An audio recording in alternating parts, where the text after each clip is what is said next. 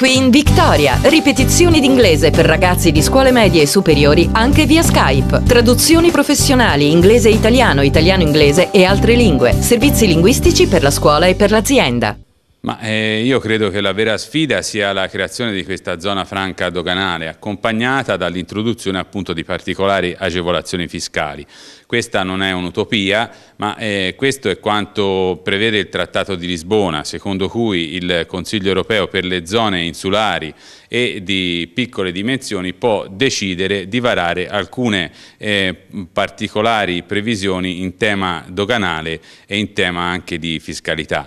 Questo cosa può comportare per l'Elba? Può comportare il rilancio delle imprese già esistenti, può comportare eh, l'arrivo di nuovi investimenti e quindi la creazione di nuove imprese, insomma il eh, tanto auspicato e aspettato rilancio del nostro contesto insulare. Il eh, passaggio che dobbiamo eh, condividere tutti, e vedo lo stanno già facendo eh, l'associazione industriale, le associazioni di categoria e chi eh, sta eh, rimettendo mano a questo progetto, a che l'Elba possa essere eh, zona tax free, come si dice molto eh, più semplicemente, cioè spingere tutti assieme perché questo obiettivo possa essere raggiunto. In particolar modo le amministrazioni locali, comuni e urbani, devono deliberare in tal senso e la conferenza di sindaci si deve fare portatrice di questa istanza eh, verso la regione toscana che dovrà poi agire nei confronti di governo e comunità europea.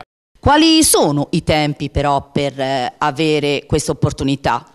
Ma i tempi diciamo uno stretto giro di posta perché le nuove tariffe doganali saranno approvate dalla comunità europea entro il 30 di giugno, quindi questo ci deve spingere ad accelerare il tutto e a provare a vedere eh, di realizzare questa svolta per l'isola d'Elba.